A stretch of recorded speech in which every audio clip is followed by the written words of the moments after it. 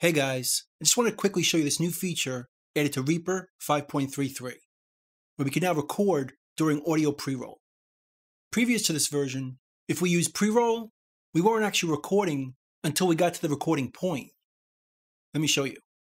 Let's go to our metronome over here and right click it. And down over here is our pre-roll.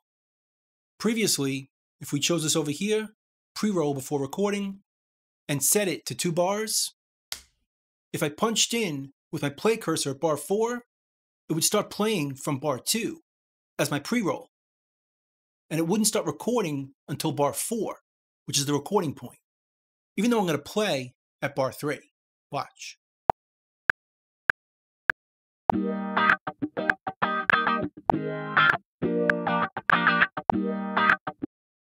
Because my recording point was not till bar 4, that's where it punched in.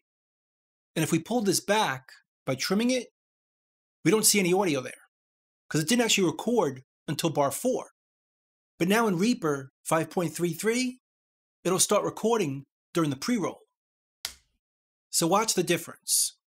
Let's do the same thing in Reaper 5.33.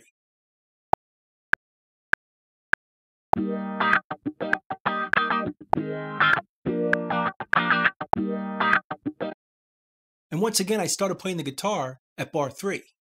So now if I pull this back in Reaper 5.33, we actually recorded what I played during the pre-roll. So it's a good idea to utilize this feature in case you did anything important before the recording point and you want to get that back. But if you want to turn this feature off, just go to your preferences, under recording preferences right here, and you can turn it off if you don't want that behavior. But it's on by default, and for most situations, you're going to want it on.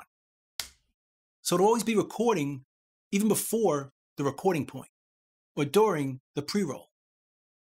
So that's pretty much it. That's recording during audio pre-roll in Reaper 5.33. I hope you learned something, and I'll see you next time.